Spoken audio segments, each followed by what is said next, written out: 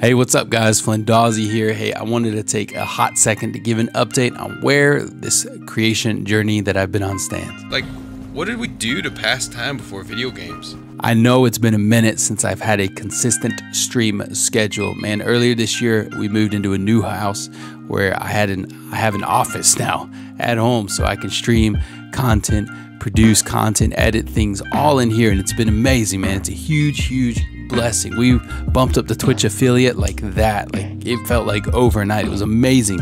And then we've had some TikToks and Instagram Reels, YouTube Shorts that have popped. Um, at least what I consider popping. Um, we really, it was the best part of it all was we had a really consistent stream schedule for several months. Your, um, I don't know. I don't know his name. I don't remember. Boom! Oh. You see that, dude? I just one shot at that nerd. I said, pop! Until August hit. See, in real life, I'm a pastor, and we've been in the middle of a lot of really cool things. It's been an incredible year, but for me personally, that meant I had to put a pause on some of the, my other things that I'm, I'm doing. Um, so, uh, you know, I've had a lot of time over the last few months to think about what does the future look like for Flindawzi, for the Flindawzi brand, the Flindawzi content creation journey. See, I've been messing around with streaming for 10 to 12 years, man. Going back into college, I had this Dell laptop with this $30 webcam from Best Buy. Um, and some friends and I used to stream. There was this website called ustream.tv.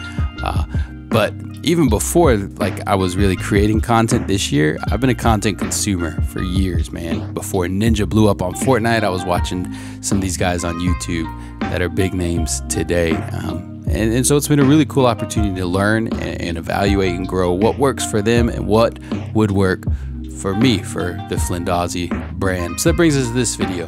Over the last few months, I've taken a lot of time to really think what does the future of my content journey look like? Is there a future for Flindawzi? See, the truth is, life is never going to get less busy, and you know, it's not like time's going to magically appear. All of a sudden, I'll have more time um, because I, I, really do believe busy isn't a season, busy is life. You know, you ask someone, hey, how are things going? How's it going at, at work or life or home?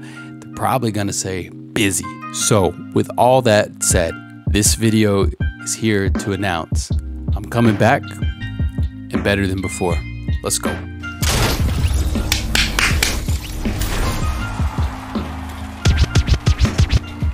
Dude, holy crap, that's two wins this season.